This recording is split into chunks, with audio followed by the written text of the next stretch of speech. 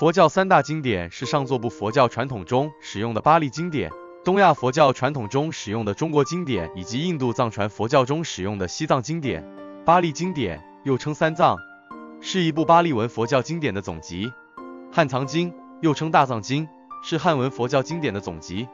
藏传大藏经又称甘珠尔，是藏文佛教经典的总集。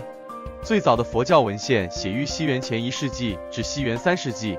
在阿富汗发现的现存最早的佛教手稿是用犍陀罗语书写的犍陀罗佛教文献，其历史可以追溯到公元前一世纪至公元三世纪。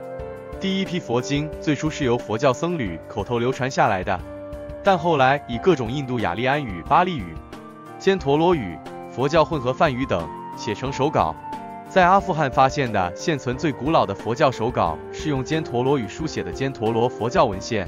其历史可以追溯到公元前一世纪至公元三世纪。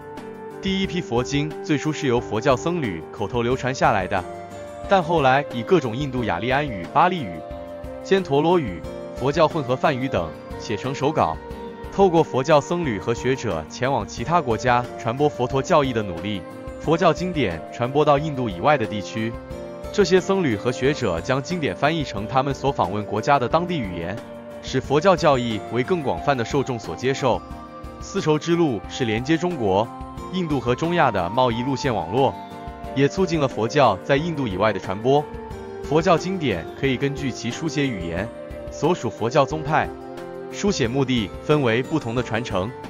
上座部佛教传统中的巴利文经典、东亚佛教传统中使用的汉文经典以及印度藏传佛教中使用的藏文经典是三大佛教经典。最早的佛教文献可以追溯到释迦牟尼佛圆寂后的几个世纪。